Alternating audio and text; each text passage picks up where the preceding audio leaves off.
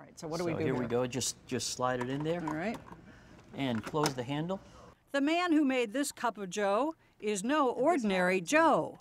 When I was working for GE, I was in the satellite division, so we did put a few satellites on rockets and put them in orbit. Kevin Sullivan, Chief Technology Officer at Keurig Green Mountain, maker of coffee machines, got his start in aerospace and defense.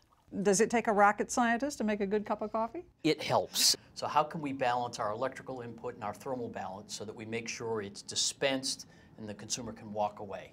The idea of making coffee a cup at a time started catching on about a decade ago. It turned out to be a high tech challenge This gives you an idea of the technology. This is complicated. It's very complicated. because it can't be complicated for the guy trying to wake up in the morning. Just close the handle and touch a button, and away it goes. A cup of coffee in less than a minute. Speed, convenience, and did we mention variety?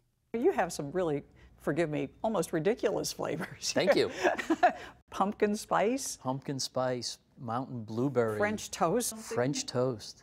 Today, single serve machines are in one out of every three American homes. What happened to the percolator? Remember that? I think they're all in the basement. Yeah. And then when then we had drip coffee. We right? did. And then along came this and just sort of blew everything else out of the water. Single serve, I think, found the, the, the hidden need, the need that people didn't know they had. Filling that need has turned Keurig, whose machines can cost a couple of hundred bucks, into a $4.7 billion business. A cup of coffee made this way is not necessarily cheap. It's less expensive than you go to a coffee shop, but it's more expensive than if you bought a pound of coffee and uh, did your drip grind.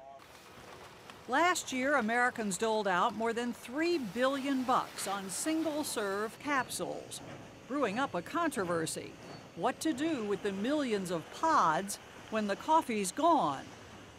Frankly, there have been some environmental concerns about making coffee this way. Where is Keurig now uh, in terms of making these things recyclable? We've been hard at work to solve that problem. We introduced a system called Vue that has cups that are in fact recyclable. We have a company objective that everything will be recyclable by the year 2020. We certainly aren't going to wait that long. I think we're going to start that much sooner and hopefully convert sooner than that. Customers apparently aren't much deterred by either environmental concerns or price. These days, a cup of hot coffee is cooler than ever.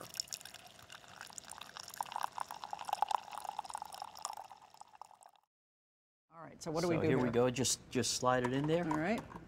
and close the handle. The man who made this cup of Joe is no ordinary Joe. When I was working for GE, I was in the satellite division, so we did put a few satellites on rockets and put them in orbit. Kevin Sullivan, Chief Technology Officer at Keurig Green Mountain, maker of coffee machines, got his start in aerospace and defense. Does it take a rocket scientist to make a good cup of coffee? It helps. So how can we balance our electrical input and our thermal balance so that we make sure it's dispensed and the consumer can walk away?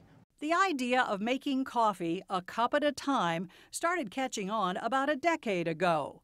It turned out to be a high tech challenge This gives you an idea of the technology. This is complicated. It's very complicated.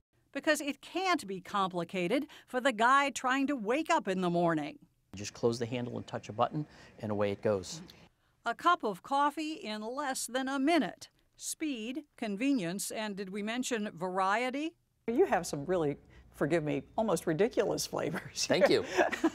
Pumpkin spice, Pumpkin spice, mountain blueberry, French toast. French toast.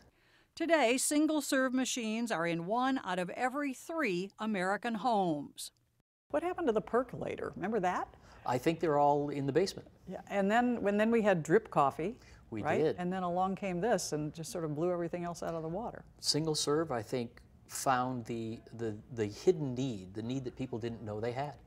Filling that need has turned Keurig, whose machines can cost a couple of hundred bucks, into a $4.7 billion business. A cup of coffee made this way is not necessarily cheap. It's less expensive than you go to a coffee shop, but it's more expensive than if you bought a pound of coffee and uh, did your drip grind. Last year, Americans doled out more than 3 billion bucks on single-serve capsules, brewing up a controversy. what to do with the millions of pods when the coffee